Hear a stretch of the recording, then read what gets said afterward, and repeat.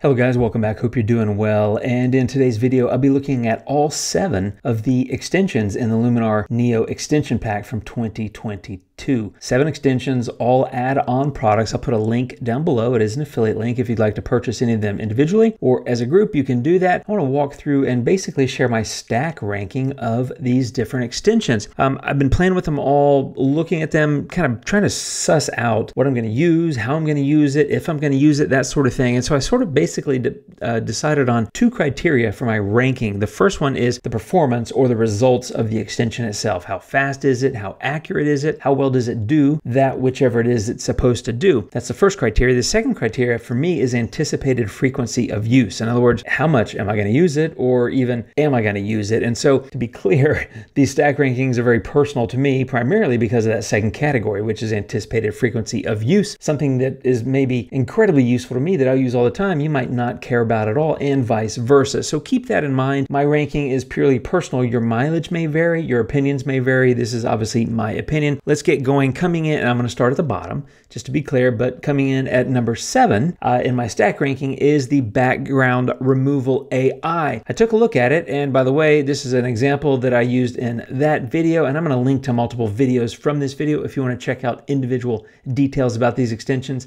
None of this is a tutorial about specific aspects um, of each extension. So there you go. You just go into layer properties, you click on masking, you click on background removal AI. It does its calculations, it figures out what the subject is, and then it highlights that subject like that. And so my ranking for performance and results, that sort of thing, is a 4.5. And I should pause and say this is a five point scale, one being low or bad and five being high or really good. I give this about a 4.5, and that is because if you look here, there's a tiny bit of cleanup you would have to do in order to get the edges of these feathers and things like that. Maybe the tiny edges of the uh, the claws or whatever it is on the uh, on the webbed feet of this puffin. Not my photo, by the way. I'll put a link to the artist down below. But in terms of performance and results, I give it a 4.5. In terms of usefulness, for me specifically, I only give it a 1. And that's because I just don't do this sort of thing. Like if you do a lot of kind of composite type work, comes in super handy. That's why I said this ranking is very specific to me, right? I would use it very seldomly, to be honest. So I give it a one. So overall, a 4.5 and a one. I'm weighting each category the same. And so your overall, or my overall score for background removal AI is a 2.75. And that's ranking it at number seven in this category.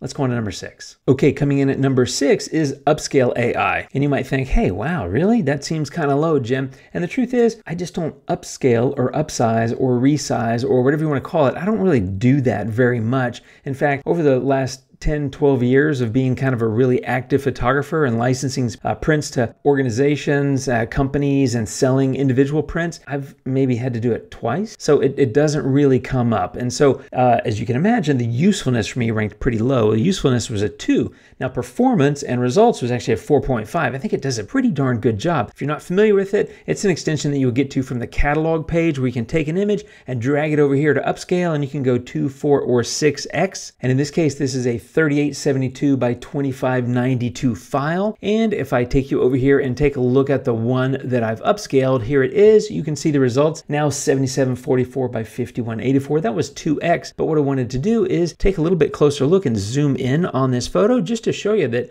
I think the results are great. I mean, still crisp and clean and frankly looks great even though I've uh, basically enhanced it in twice uh, twice the size. Could zoom in further and I still have great detail in the eyes and the hair and all that sort of stuff. So again, performance and results 4.5 but for me the usefulness was only a 2 i just don't use it it's not going to come in that um, necessary for me in my day-to-day kind of work every now and then I'll need it, and that's great. I'm super glad to have it. I think it's really cool that it's built in here into uh, Luminar Neo as an extension. I just won't use it a lot. So 4.5 on performance and results, a 2 on usefulness. So that gives me an overall score of 3.25, ranking it at number 6. Okay, now coming in at number 5 is Magic Lights. And let's just be honest, it's a fun one. The, uh, the overall score that I gave it in performance or results is a 4 overall, not quite as high as upscale or background removal, and I want to show you why. It shows up over here in the extensions menu, not on the catalog page, but on the edit page. And if you drag intensity, you will see that it takes some of those lights and it just really creates that beautiful starburst effect, which is what it's for. And it does a great job but it doesn't do a perfect job. That's why I gave it a four because there's a whole, whole lot of lights in this scene and it doesn't get them all. And I've had a number of emails from people saying, well, what do I do? It doesn't get them all. Well, the only thing I can think to do is to apply it as you would on a photo, export the photo, add it back to Luminar, try again, see if it picks up any different spots, but there's not really a way to force it. And so I would like to see some enhancement here where you could either, uh, where it either automatically detects more spots, which would be ideal, or if there's a way to kind of force it, uh, where you could drop pinpoints of light or something like that. But um, in this case, actually, if it grabbed every one, it would be too much in this photo because there's so many points of light. So in this example, it's actually great for me that it didn't grab them all. But generally speaking, you're probably going to want to add it to more points of light than it may pick up in scenes like this. And so that's why I gave it a three, uh, excuse me, no, I gave it a four overall in performance and results. In terms of usefulness, I gave it a 3.5, which is higher than upscale and background removal, but still might seem kind of low. And again, that's just usefulness in terms of how often am I going to use it? How frequent am I going to apply this effect to photos? It's super cool. It's super fun. I like it. I'll use it some. That's kind of what it comes down to. So it ranks a little bit lower. So a four in performance, a three and a half in usefulness for me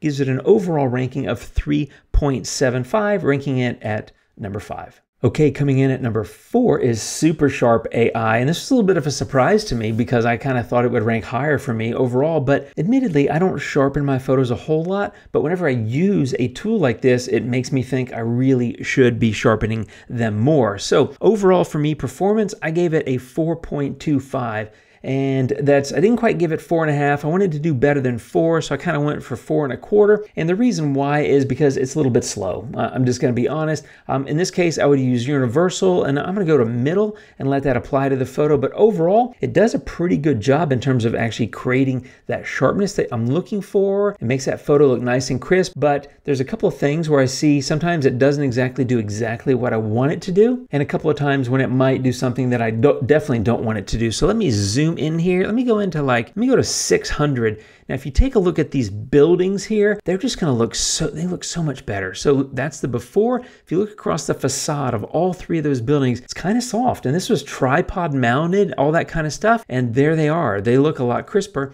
up here as well. Like this building looks better too. There it is before, there it is now. And like the facade of this building looks, I think, a lot better. So, you know, there it is before, quite a bit softer, and there it is now. But here's one of the things I didn't really like about this if you look at the before of this string of Christmas lights before Super Sharp AI, and if you look at it now, it's basically changed the shape and basically changed the look of it. So it does some things like that. And I've seen this on walls where it uh, kind of is like slightly alters the pattern a little bit. So that's why overall I'm giving it a 4.25. It does a pretty good job. It definitely makes me think I need to be using it more. Um, so 4.25 in performance and results, but for usability, I gave it a four, and that's again personal preference, especially this usefulness category. That's incredibly personal to me, and so your mileage probably going to vary quite a bit on that. But I'm going to use it a, a decent amount, but I'm not going to use it all the time, like I probably am some of the other extensions or other tools that are in Luminar. So overall, a 4.25 on performance and results, and a four on usefulness, and that gives me an overall score for Super Sharp AI of 4.125, ranking it number four. Okay, so coming in at number three for me is actually Noiseless AI, which is a little bit of a surprise. I kind of thought it might be a number two for me, but it's coming in at number three. And there's there's a main reason why, and that is uh, around the performance and the results. The results are actually, I think, quite good. It's just the performance is fairly slow. Let's just be honest. It's a bit of a resource hog. Um, I like what it does, but I've got a fairly beefy machine and it still takes a little bit of time, longer than I would think it would take, for this tool to run all of its calculations. Um, I remember other tools in Luminar in the past being a bit slow and then they do an update to the product and things speed up. So I definitely anticipate it will get faster over time. But results wise, I think it actually looks pretty good.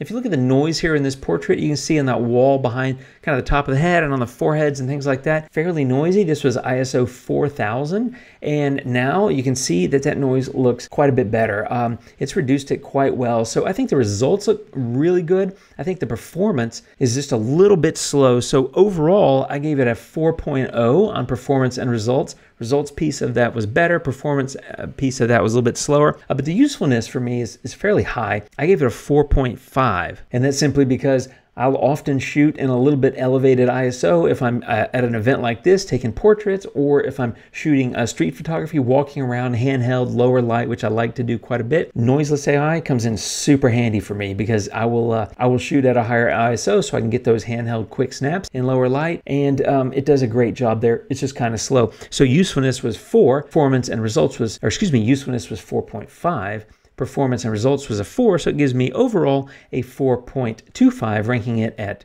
number 3. Okay, coming in at number 2 for me was actually focus stacking. I was surprised. I didn't think I was going to rank it that high, but overall, just the scores in terms of how well it's working is frankly a bit off the charts. If you're not familiar with how you do it, you basically take the same image with different focal points, no other changes to your uh, image, and then you blend them all together. So in this case, I have a photo here where I set up a bunch of different cameras and I focused on one at a time. So in this photo, I focused on this Kodak Duaflex right here in the front. This second one, you can see it's slightly different focal point where this World Atlas and this other camera in the back are a little bit more in focus but like the Nikon and things like that are not. And so I took five or six different photos, stuck them all together, and the result is this one. And you can see here, every single thing is in focus. And so if I zoom in, if you look here, I mean, that camera is in focus all up front. This camera in the back and that book are in focus. This old video camera is all in focus. This Nikon is in focus.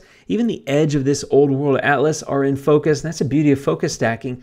Now, again, as I said, your mileage may may vary and your opinions may vary, be it, but I, I rank this high in terms of performance and results because the results are fantastic and the performance is pretty quick. I find it actually quicker than super sharp or noiseless.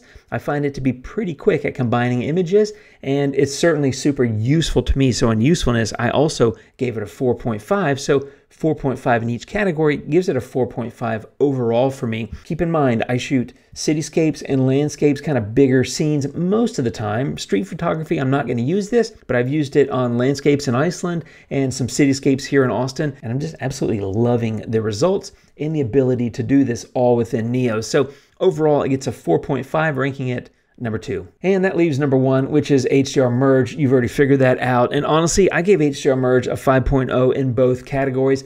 I find the performance and the results to be just spectacular. And let's face it, they've got, they being Skylum, the people that make Luminar Neo, they've got DNA for making really good HDR software because they had Aurora HDR for years, which honestly, in my opinion, uh, has, has long been, ever since it came out, has long been the best individual product specific for HDR that I'd ever used, right? And so um, they've got a DNA for that. So I expected HDR Merge to be really, really good in terms of performance, and it is.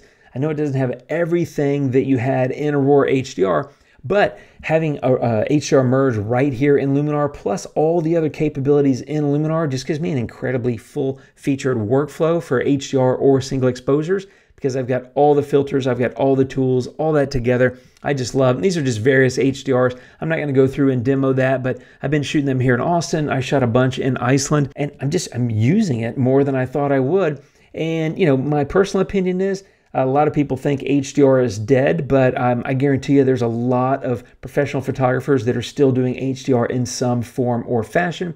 It's just the over the top HDR that died, but I would say natural kind of subtle HDR is going to be around for a long time. Super useful, super uh, good performance and results for me, making HDR merge extension number one. So to summarize that, number seven was background removal AI. Number six was upscale AI. Number five was magic lights. Number four was super sharp. Number three was noiseless. Number two was focus stack. And of course, number one is HDR merge. Again, your mileage may vary. These are my opinions based on my experiences, but again, it's very much colored by how much am I going to use the tool, which I talked about for each individual extension. So even if they got a low ranking on that, doesn't mean the tool is bad. Overall, I think it's super cool that you have all these capabilities and doubly so that it's all in one place, which is for me the big deal for extensions that you can buy in them individually or as a group have all this capability at your fingertips in one product because as you can see over here, I've got my catalog. I've got 246,000 photos in Luminar Neo. I like to have all my stuff in one place and having them all here just really helps me